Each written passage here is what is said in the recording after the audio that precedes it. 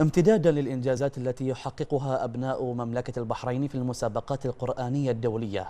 استقبلت إدارة الشؤون الإسلامية بوزارة العدل والشؤون الإسلامية والأوقاف وبحضور سعادة الدكتور ماجد بن علي النعيمي وزير التربية والتعليم والدكتور فريد بن يعقوب المفتاح وكيل إدارة الشؤون الإسلامية.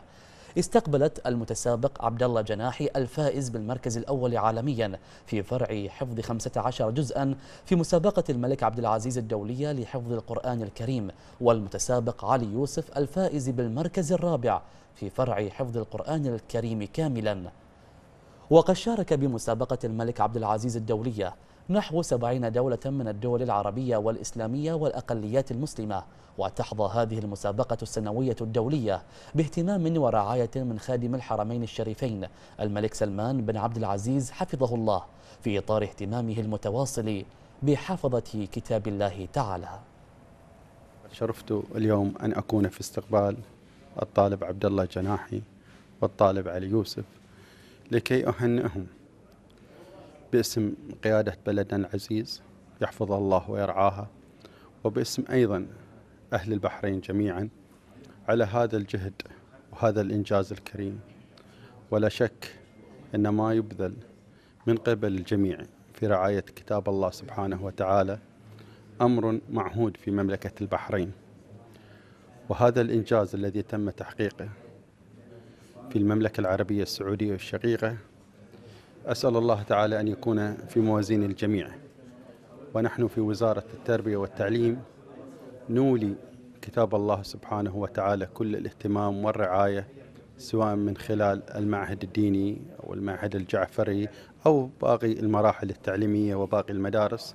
هذه الإنجازات التي تتحقق لا يمكن أن تتحقق إلا بفضل من الله تبارك وتعالى وأيضا المساندة والدعم والاهتمام الكبير من قبل القيادة الحكيمة لحفظة القرآن الكريم ولأبناء هذا الوطن الغالي على مستوى القرآن الكريم ويعدون بالمئات والآلاف من البنين والبنات.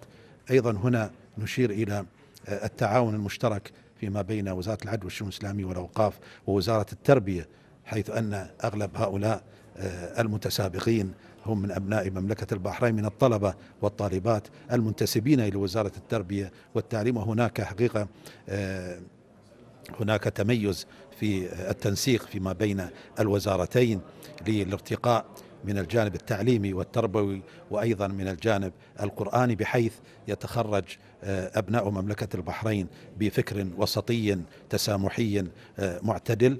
ويمثلون مملكة البحرين بهذا النموذج البحريني الراقي الحضاري. فزت الحمد لله في مسابقة الملك عبد العزيز الدولية لحفظ القرآن الكريم في الفرع الثالث وقدم الشكر لجلالة الملك حمد حفظه الله ورعاه وللقيادة الرشيدة وقدم الشكر أيضا لوالديني اللي شجعوني على حفظ القرآن الكريم ولمشايخي كلهم اللي كان لهم دور في حفظ القرآن.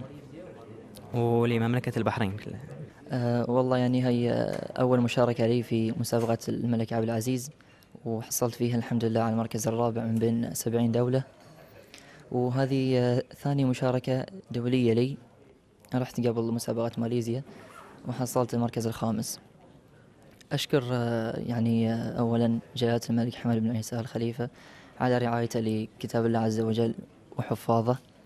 وكذلك أشكر الوزراء على رأسهم الدكتور ماجد بن علي النعيمي على حرصه ويعني مساعدته للحفاظ وتطوير نظام الحلقات في وزارة الأوقاف والشؤون الإسلامية.